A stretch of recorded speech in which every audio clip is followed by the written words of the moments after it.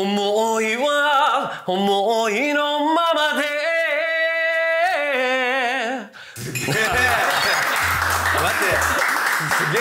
ちなみにこのデビューがはい。ワールドカップ？ワールドカップ？日韓ワールドカップ。まあデビュー後ですね。デビュー後で。デビュー後の一番だからでかいはいはいはい仕事が日韓ワールドカップの、は日本代表として僕らケミストリーと、あと女性でソエルっていうアーティストが行って、で韓国のアーティストですね。リナ・パクとあとブラン・アイズとやりましたね。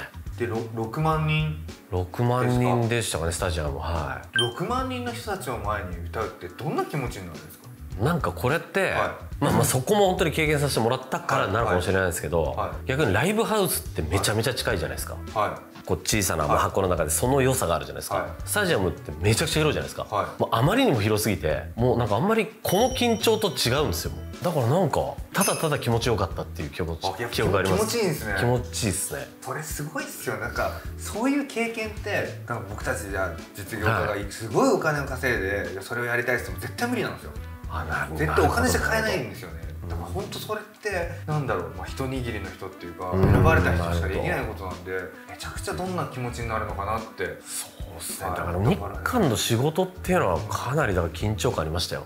まだ2001年なんで2002年か。はい。その日本と韓国の関係性っていうのもまだまだそうそうですよね。はい、僕たちの曲が何十年ぶりに日本語が流れたみたいな。へー。っていう時代だったんで、だから結構まだ韓国行ってはい。取材を受けててもやっぱライターさんがすごく韓国の方でやっぱ厳しい感じの方多かったですよ。でもアーティスト同士が本当にこう仲が良くて何も思ってないんですよ。お互いのことをすごく好きでリスペクトし合ったんでそこが本当に一番良かったなっていう、もしそこで何かギクシャクしてたら怖いですよね。うん。本当いまだに仲いいですし。ああそうちょっと、あのそんな川松さんのはい。歌を。お歌を？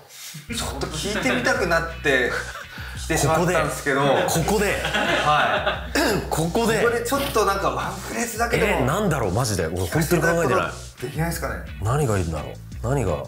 なんか知ってますか僕いやもうめっちゃいろいろ知ってます。本当ですか？はい、何歌い一ます？番好きなのはあの愛しす。ぎてが愛すぎてなんだ、はい。僕あれすっごいあと合鍵も好きです。合鍵、はい。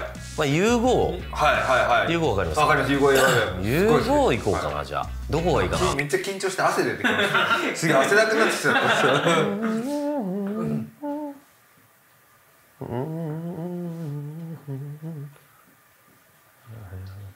はいわかりましたはいまあいいさらっとさらっといいさらっとでもいいん。で、マジで生歌聞けますよいきますはい思いは思いのままで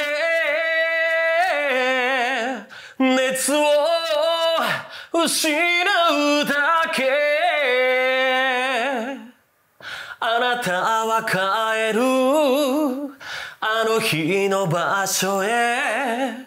僕は僕のたいな感じですかね。すげえ。待ってすげえ本物ですね本物でいしたよやいやもう。そのまんまですね。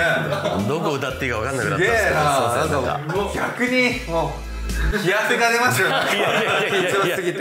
いやありがとうございます。いやいやどうもそうです。まめちゃくちゃいい思い出になあります。ありがとうございます